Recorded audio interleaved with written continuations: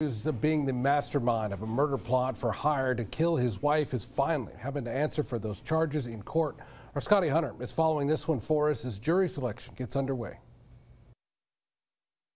Nearly seven years later, with jury selection getting started today, Hamid Ghasemi will have his day in court.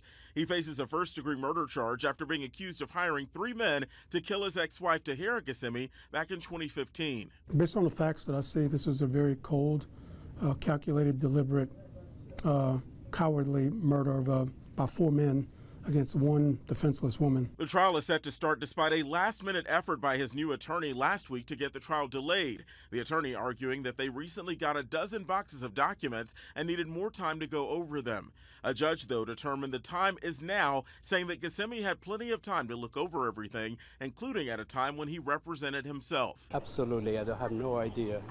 He's just been taken into custody. Detectives are going to talk to them, talk to him. It's still very much an ongoing investigation. You may remember Ghasemi was arrested back in 2015 after he allegedly paid $10,000 for these three men, Tyler Ashbaugh, Skylar Williams, and Daniel Richter, to kill his ex-wife and son and to get rid of the bodies.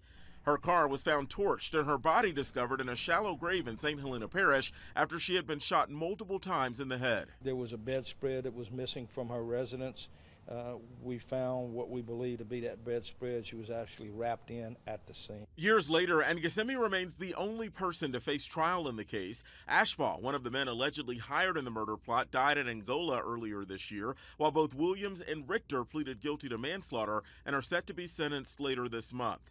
If convicted, Ghasemi could face life behind bars.